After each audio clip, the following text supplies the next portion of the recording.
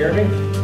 Uh, my name is Walt Lukken, and it's, it's, a pleasure to be here. And thank you, John and Doug, for organizing this, and Jim. Um, I want to ask you, what do I have in common with Bill Gates, Bill Clinton, Conan O'Brien, and Alec Baldwin? The answer is absolutely nothing, um, except that we interned on Capitol Hill when we first started our career. And I, I love internships, and I encourage all my friends to take and do internships whenever they can because it's really powerful way for you to, first off, find out what the hell I don't want to do eh, you know, when I grow up.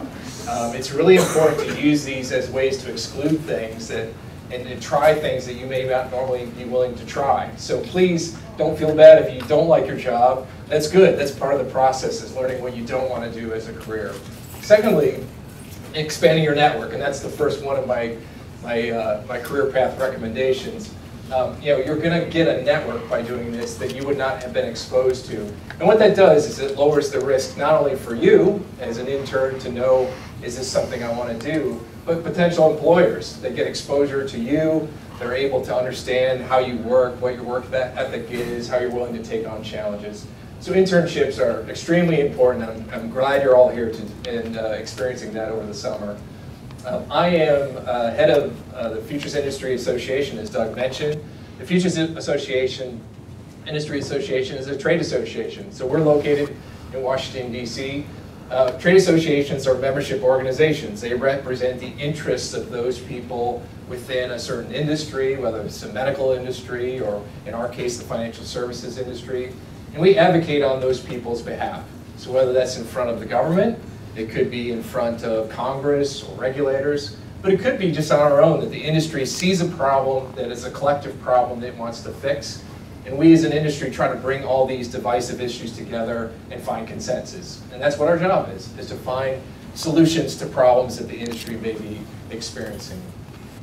You know, there's a Chinese proverb that says, um, may you live in interesting times. We live in certainly interesting times. Actually, if you look it up, it's it's actually considered a curse. Um, this, this, is actually very uncertain times that we live in. Um, you know, in November, we will elect a president that nearly two-thirds of the American public do not like or trust, no matter who is elected. Think about that. Two-thirds of the populace right now don't really trust or like the current candidates that are before us. This is really important in Washington. Having been somebody in Washington, it's not electing one individual, but a president gets to a point nearly a thousand political appointees that are confirmed by the Senate. If you expand that beyond of all the political appointments, it's nearly 7,000 people that turn over when a new administration comes into effect. That's hugely important, hugely, massively important. So weigh your, you know, your decisions wisely in November uh, when the presidential elections, and go vote, obviously. Um, I would say this too, I mean, if, looking at uncertainty, look at what ha recently happened in, in the EU with the Brexit determination, where Brit, the British public decided to leave the EU.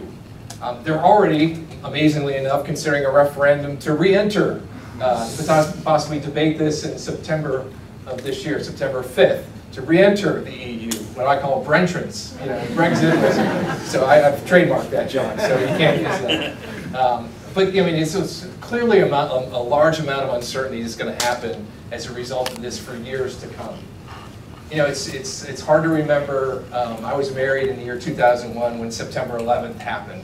So I, that marks sort of both good things in my life and, and bad things in my life. But you're probably too young to remember what it was like before September 11th. We're now 15 years into a war against terrorism, where we've gone into war with troops on the ground, and then under the current administration using more subtle ways to defeat terrorism. But there's no clear path of how we do it. And that's going to be lingering on for years to come. You throw on top of that global warming, super viruses, whatever there may be in the world, there's all these complex problems that are creating this uncertainty in the world. And there's going to be a need for people to come and help us to solve these complex problems. And you're the ones sitting in this audience to help us to do that. Looking at our industry in particular, our, you know, we also are living under a cloud of uncertainty. You know, volumes in our industry certainly is it's been doing fine, but underperforming where they should be. Um, you know, I think everybody would like to see volumes doing better. If you look at where the financial crisis, where it was in 2008, where how much customer funds were, were being held and traded on futures markets. Fast forward to today, it's the same amount of money being held. It's remained flat over eight years. I mean, amazingly, any investment you put in remaining flat over eight years, that's not a very good investment. And certainly our industry is not growing where it should be. You know, as, as costs rise in our industry, as regulatory costs keep getting piled on to the industry, uh, firms are having to make the tough choices. And we'll hear from some of the firms today of how, do how do I continue to be profitable in this environment? Do I consolidate with colleagues?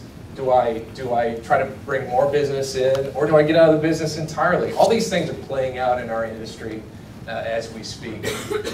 And you may ask yourself, dude, you're, you're, you're the spokesman for this industry. Why are you being such a bummer? You know, why? And I would say to you that I'm actually very optimistic about this industry uh, for some of the reasons that John talked about. Um, I believe in markets. I believe that the power of markets, that markets will help us to allocate wealth and capital to the right investments.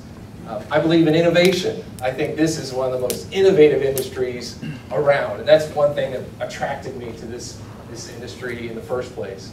And I believe in ideas. I mean, we talked about Richard Sandor and inventing certain products in our industry. Those are the kind of ideas that really revolutionize this industry. And so you're in a very exciting industry. And fundamentally, the, the demand for risk management in our financial markets to service the real economy is not going to disappear.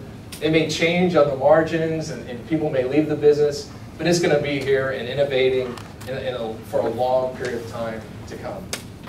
So what I wanted to do is, is as we thought, think about this, to give you hopefully some, some bits of advice. And the first, I have five really things I wanted to, to, to ask and, and to try to recommend for you to follow as you think about your career path. And the first is networking. Um, you know, this is a great, John has put together a great event that allows you to network uh, with different people. I think when I was growing up, and part of it was being Midwestern and shy, um, you felt like, oh, I shouldn't use those people are using their connections, their family connections to get jobs, and that's unfair, you know, that they're using their network and their friends and their connections to, to do things. But the truth is, you gotta use that, those networks, and, and it's not because you're getting a special favor. The truth is, friends and family know who you are. They know how hard you work. They know that you're willing to commit to things. And so using those connections to get jobs, to get into these places, that's a, an asset for you. And everybody should be using those things. Don't be shy about using those connections to try to, to get your network, expand your network, meet new people.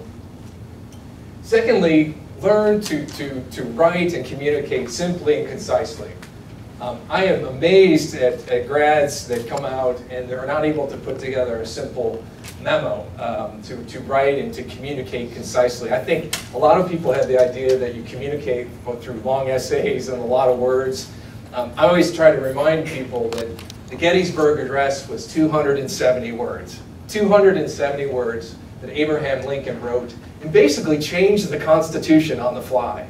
He said that all men are created equal, you know, and at the time that wasn't the case when the Constitution was was written. Amazing stuff in a concise manner, right? The guy who followed him, Everett Everett, Everett, or Edward Everett, uh, he was a, a, famous orator and he was a politician. The governor of Massachusetts spoke for 17,000 words for two, over two hours. No one even knows he did that, you know? 270 words, he wrote it on the train ride up. Abraham Lincoln, he changed the course of history. Be concise. Be concise in your writing and in how you communicate do the dirty work. I think Drew talked about this a little bit before. You know, I think I, in just my own, my own view, I was in law school and I interned um, at an office of Senator Richard Lugar. You know, he was from Indiana, senator for many years. Um, you know, I could have, as, a, as a, a, law student, demanded that I work on policy, you know, that I, I go down to the floor of the Senate and help write bills. Well, no. What I did was I went up to the mail room in this dungy mail room upstairs, and I opened constituent mail all summer. All summer, every day, five days a week, eight hours a day, reading complaints from constituents. Was that below me? Maybe. But I learned a lot. I learned about all the issues that the populace of Indiana were thinking about and where the pulse of the nation was trying to you know, concentrate its efforts. Um, and I did a, a, task that they needed somebody to do, right? And I, I showed that I was working hard and I was able to do the dirty work. And you know what? Two years later, they called me and offered me a job. Not because I knew how to do policy, not because, because they, they knew my work ethic. They, they knew that I was willing to do the hard work. And that's really important, to not feel entitled, I think is Drew called it, to go out there and do the things that are important. Get educated, the, the right education. I mean, I think if you look at all the statistics that are out there, education is highly cor correlated to standards of living. So if you look at unemployment rates that are out there, you know, uh, somebody without a high school uh, education, unemployment rates are 8.3%, pretty high. If you have a high school uh, education, it drops to 5.4%. If you have a college education, it's 2.3%. These are, there's reasons for these. These are highly correlated. And even beyond that, if you look at STEM, uh, the sciences, the math, the engineering programs, those are the places where um, unemployment rates are even lower.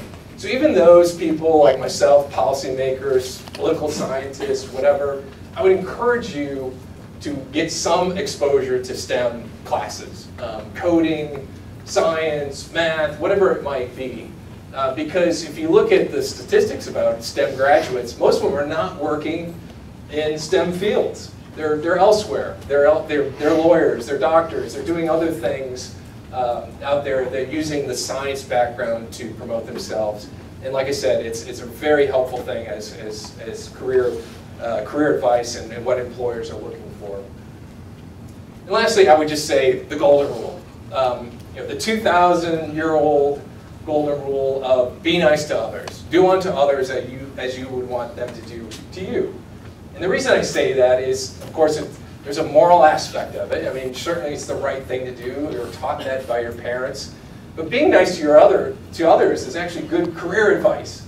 You know, if you're nice to others, they're willing to trust you. They're willing to call you back. They're willing to help you out when you're in a bind. There's all sorts of benefits that happen just because you're nice to people.